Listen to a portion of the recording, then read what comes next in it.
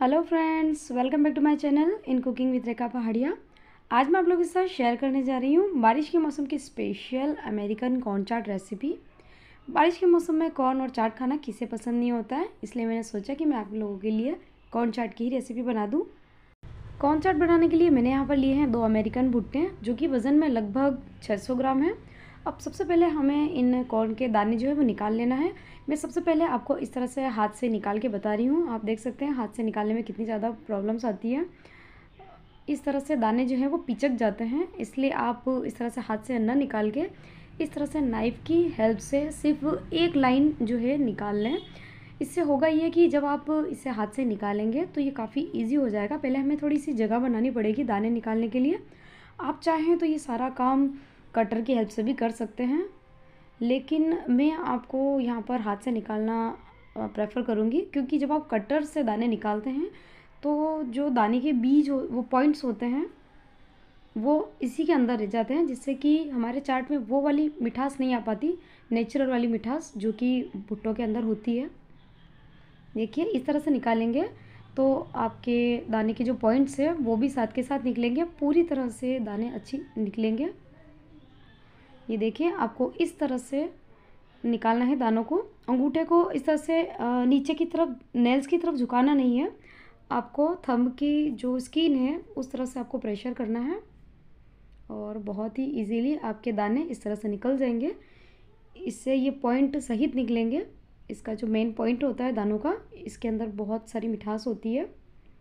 अगर आप कटर से यह सारा काम करते हैं तो इन दानों के पॉइंट्स जो है, वो डंठल के अंदर ही रह जाते हैं, जिससे कि हमारी कौन चाट टेस्टी तो लगती है, लेकिन इतनी ज़्यादा भी नहीं, क्योंकि हमारी आधी मिठास तो इसी में रह जाती है।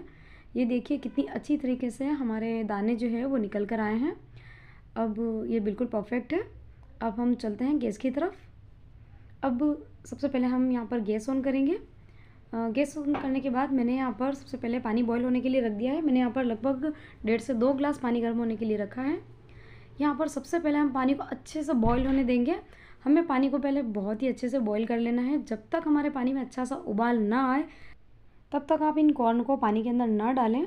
अगर आपका पानी अच्छे से गर्म नहीं होता है, उससे पहले अगर आप इन दानों को डाल देते हैं तो आपके जो दाने हैं, वो बहुत ज़्यादा हार्ड हो जाएँगे, जो कि बिल्कुल भी अच्छे नहीं लगेंगे। इसलिए आपको पहले पानी को बहुत अच्छे से उबाल लेना है। उस उबलते हुए पानी के अंदर ही आपको इन दानों को डालना है। मुश्किल से दस मिनट का टाइम भी नहीं लगता इसके अंदर। पाँच से सात मिनट के अंदर ही ये उबल कर रेडी हो जाते हैं। और हाई फ्लेम पर ही आपको इनको उबालना होता है। ये देखिए, हमारे दाने जो है, बहुत अच्छे से उबल चुके हैं। ये बिल्कुल परफेक्ट है। अब हम गैस का फ्लेम ऑफ़ कर देंगे।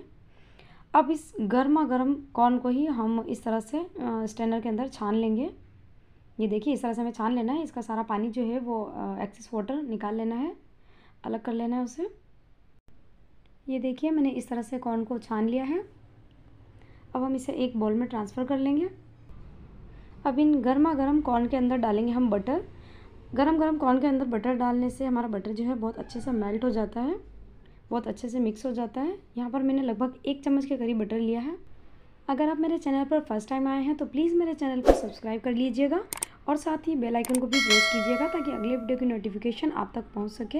अगर आपने मेरे चैनल को ऑलरेडी सब्सक्राइब कर लिया है तो उसके लिए बहुत बहुत धन्यवाद।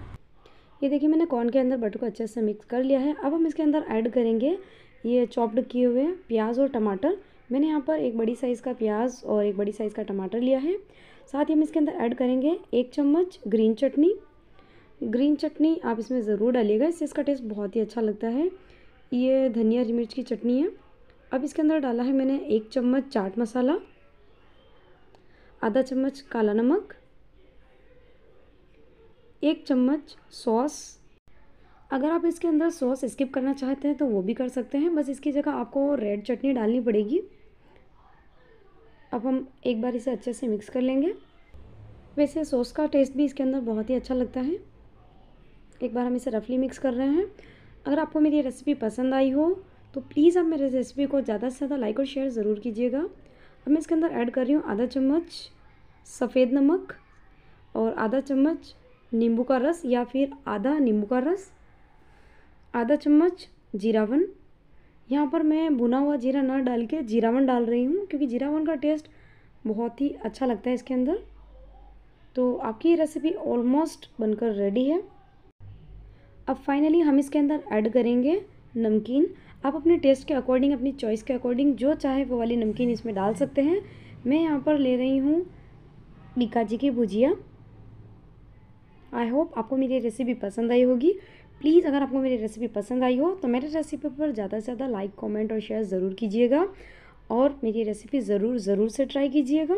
और मुझे कमेंट सेक्शन में कमेंट करके ज़रूर बताइएगा कि आपको मेरी रेसिपी कैसी लगी।